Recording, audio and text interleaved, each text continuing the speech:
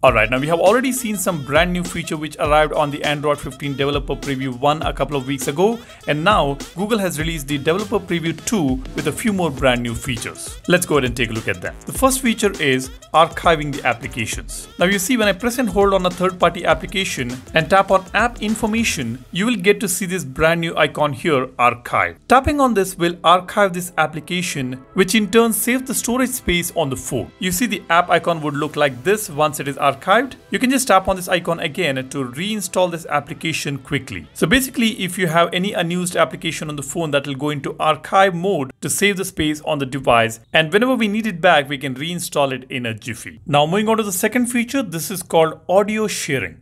Now when we go to the settings and tap on connected devices, you will see this brand new option called audio sharing. Using this feature, we can let others listen to your media along with you using their own compatible headphones. So basically whatever you're playing on the phone can be heard by others on their compatible headphones. Pretty interesting feature, but for now this is not working and maybe when it works, I will keep you guys posted. A simple feature which may be useful for a lot of people out there who want to share their audio with others. The next one is more of a video quality improvement while using the Pixel phone as webcam. Yes, we could use Pixel phone as webcam when we connect uh, the phone uh, to a laptop. This was introduced in the previous iteration of Android, which is Android 14. Now on this Android 15, there is some enhancements or improvements on the video quality when we use the phone as webcam. The next important feature which is available on the Android 15 is satellite connectivity support. With this support, we will be able to communicate with another person even when we don't have cellular connectivity. We will be able to send the SMS through the satellite connectivity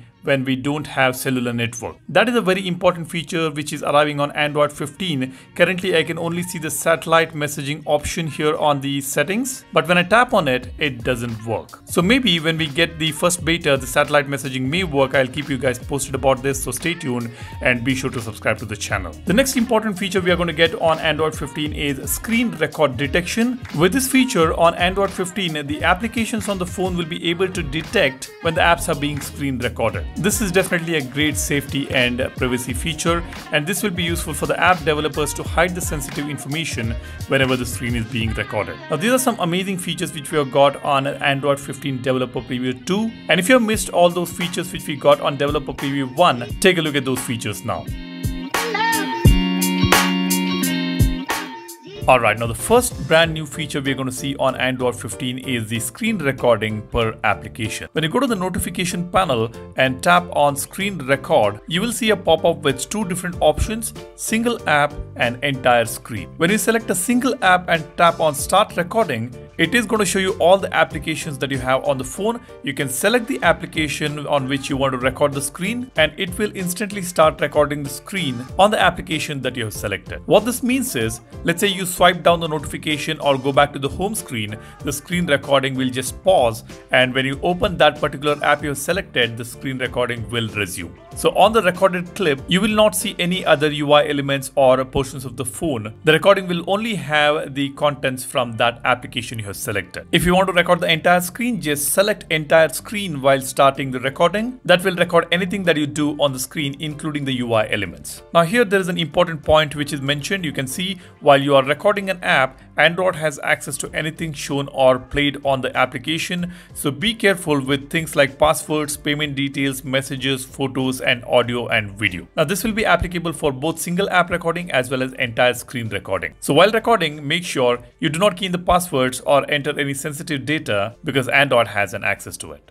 Now the next feature is for the developers. Google says Android 15 adds new extensions for more control over the camera hardware and its algorithms on supported devices. This means the third-party applications made by social media apps like Facebook, Instagram or any other application which uses the camera can deliver better images and videos within the application. So when you record a video or take a photo on Instagram or Facebook or any other third-party social media application, we will be able to have more control on the camera and we will be able to get better images and videos which can be posted on these applications. Now this kind of integration is already there on iOS and now on Android, we are going to see this. Recently with Samsung's Galaxy S24 series, Samsung did announce this kind of enhancements for a couple of social media application. And now we are going to see this on all the other Android phones, which basically enhances the in-app camera performance within the third-party applications. Next, when you go to the settings and tap on notifications, all the way down, you will see a brand new option called notification cooldown. This will gradually lower the notification volume when you get many successive notifications from the same application. Many of us get irritated when the notifications pour in from a same application or from a group chat back to back. That does annoy us a lot of times. Now, if you turn on this notification cooldown feature, when you get back to back notifications continuously, this feature will gradually lower the notification volume except for the first couple of notification sounds. That is definitely very thoughtfully done. And when you select this option, this pop-up will give you a couple of options here. Apply cooldown to all notifications, apply cooldown to conversations,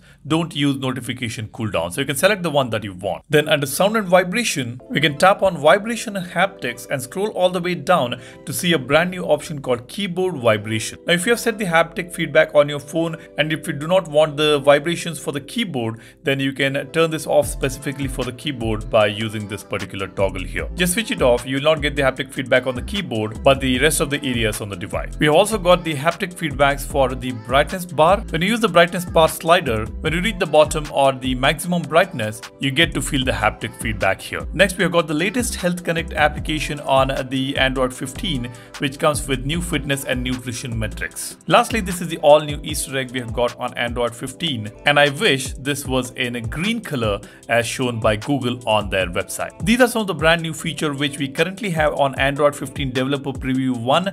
Remember, this is the first build of Developer Preview we have got, and we are expecting many more new features to get added in the coming days. And I will keep you guys posted about all these features, and I'll also let you know which features may land on the Samsung Galaxy phones on the One UI 7.0. Now, if you're interested to know the timelines of these releases, the developer previews will be available in the month of February and March. We will probably get one more developer preview, the developer preview 2, and then the public beta releases will begin probably in the month of March. And then Google will test the platform stability in the month of June and July, and the final release is expected anytime after July, probably in the month of August or September. And soon after that, we can expect the uh, Android 15 to come to the Samsung Galaxy phones and many other Android phones. Let me know what do you think. I'm sure you're thinking that this is not that exciting, but wait for it. Let's see what other new features will get added in the future. I will keep you posted and if you're new here, be sure to subscribe to the channel to know more about your phone and give this video a like if you find this video informational. Thanks for watching.